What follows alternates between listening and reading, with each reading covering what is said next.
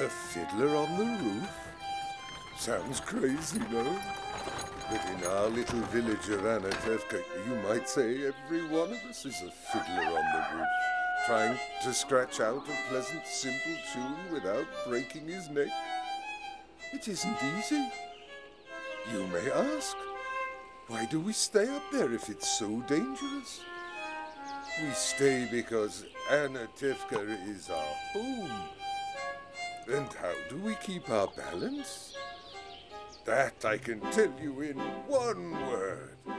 Tradition!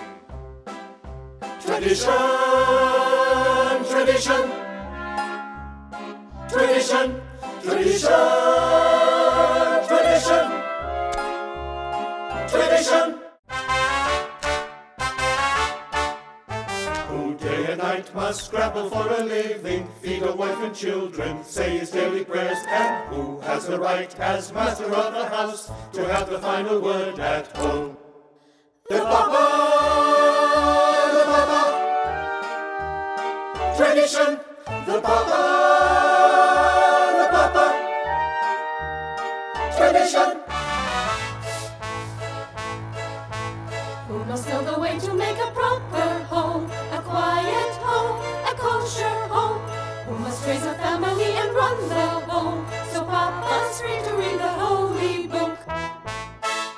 The Mama, the Mama, tradition, the Mama, the Mama, tradition. At three I started Hebrew school, at ten I learned a trade. I hear they picked a bride for me, I hope she's pretty. The sons, the sons,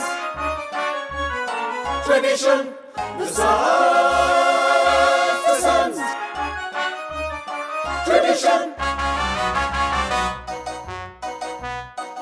And who does Mama teach to mend and tend and fix?